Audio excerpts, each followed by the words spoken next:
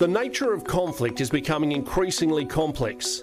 The threat environment has transformed. Our adversaries are highly adaptive and confronting us from every domain.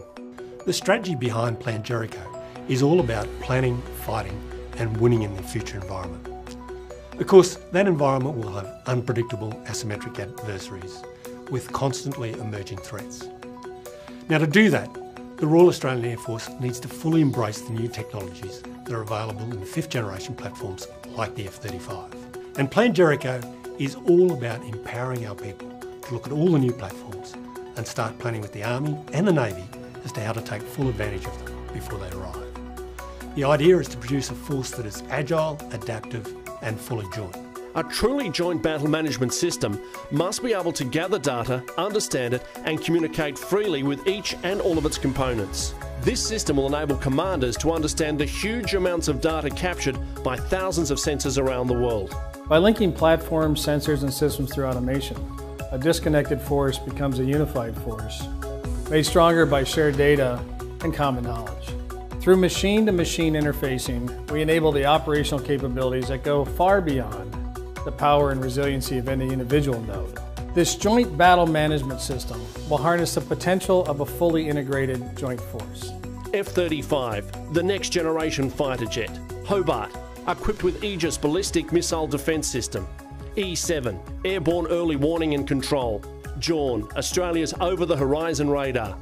Australia is very capable, but land, air, and sea machines will become stronger when we transition to a collaborative environment that allows our forces to operate as one. Shared situational awareness, like distributed execution and control, really is the key to winning the future fight. Think about today's internet gaming environment. Much like the distributed cloud of the gaming system, the combat cloud enables individual players throughout the world to harness the potential of a fully integrated team.